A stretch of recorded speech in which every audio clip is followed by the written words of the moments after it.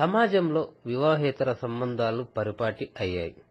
అయితే ఈ వివాహేతర సంబంధంలో స్త్రీ పురుషులు ఇరువురు ఉన్న క్రిమినల్ చట్టం ప్రకారం పురుషులు మాత్రమే శిక్షార్హులు అవుతున్నారు. భారత శిక్షాస్మృతి నాలుగు వందల తొంభై ఏడు సెక్షన్ ప్రకారం పురుషుడిని నిందితుడిగా మహిళను బాధితురాలుగా అవుతున్నారు. ఇతర నేరాల విషయంలో ఆడ మగ తేడా లేనప్పుడు ఈ వివాహేతర సంబంధం కేసులోనూ మహిళలను వేరుగా చూడాల్సిన అవసరం లేదని సుప్రీంకోర్టు అభిప్రాయపడింది.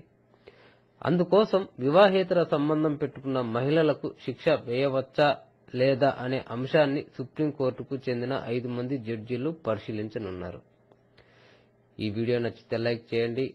మా ఛానల్లో మరిన్ని అప్డేట్ కోసం సబ్స్క్రైబ్ చేయండి. కేనిస్ తెలుగు ఛానల్.